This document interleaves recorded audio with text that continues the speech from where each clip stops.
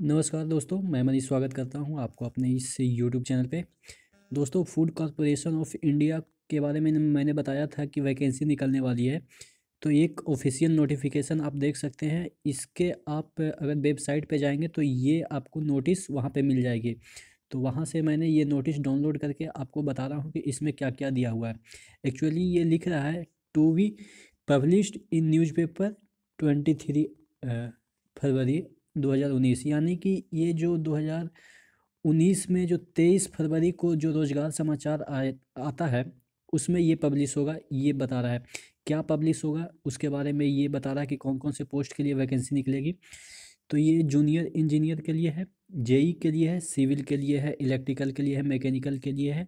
यहाँ पे आप देख सकते हैं, सिविल इंजीनियरिंग है, इलेक्ट्रिकल है, मैकेनिकल है, असिस्टेंट ग्रेड के पोस्ट के लिए निकलेंगे।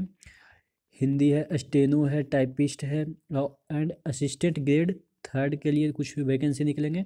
जनरल, अकाउंटेंट, टेक्निकल और डिपॉजिट, कुछ ऐसा नाम से कोई पोस्ट होगा, उसके लिए निकलेगा ये वैकेंसी।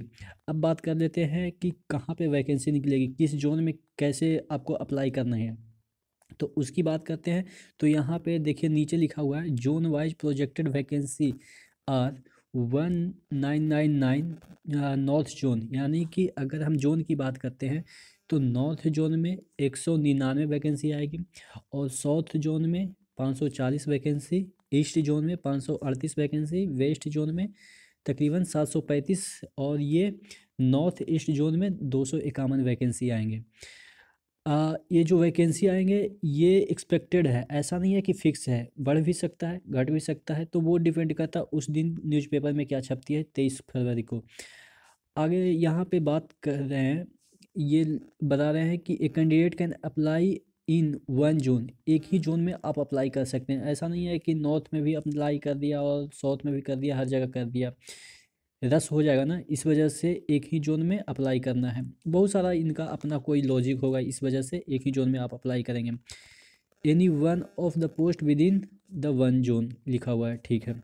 आगे ये लिख रहे हैं कि ये जो न्यूज़ छपेगी एम्प्लॉयमेंट न्यूज़ रोज़गार समाचार में आप देख सकते हैं, यहाँ पे लिखा हुआ है, रोज़गार समाचार में तेईस फरवरी को ये छपेगी। यानी कि छपने के लिए दे दिया गया है, जो रोज़गार समाचार आते हैं उसमें छपने के लिए कि तेईस फरवरी को जो रोज़गार समाचार छपेगी, उसमें ये वैकेंसी के डिटेल छपेंगे। और ये जो फॉर्म अप्लाई होगी, वो कब से शुरू होगी? वो तेईस दो से ही शुरू होगी। यहाँ पे तेईस दो लिखा हुआ है, तेईस दो से शुरू होगी। और ये पच्चीस तीन दो हज़ार उन्नीस तक इसका लास्ट डेट होगा। तो टोटल तकरीबन कितने वैकेंसी हो गए? ये दो हज़ार और यहाँ पे पाँच सौ और यहाँ पे पाँच सौ, यानी कि ये दो तीन हज़ार और अगर इसको मिला लिया जाए तो चार हज़ार, यानी कि चार हज़ार के एवब ही वैकेंसी होंगे। चार हज़ार के एवब वैकेंसी होंगे तो काफ़ी आप कह सकते हैं हाई है। ऐसा क्योंकि एफसीआई में बहुत कम वैकेंसी निकलते हैं। तो अगर चार हज़ार वैकेंसी निकल रही है तो काफ़ी वैकेंसी इस रिस्पेक्ट में बोला जा सकता है क्योंकि एफसीआई में बहुत कम वैकेंसी निकलते हैं और बहुत दिन के बाद निकलते हैं। तो आपके लिए गोल्डन अपॉर्चुनिटी है। और तो अगले वीडियो में मिलते हैं। तब तक के लिए धन्यवाद।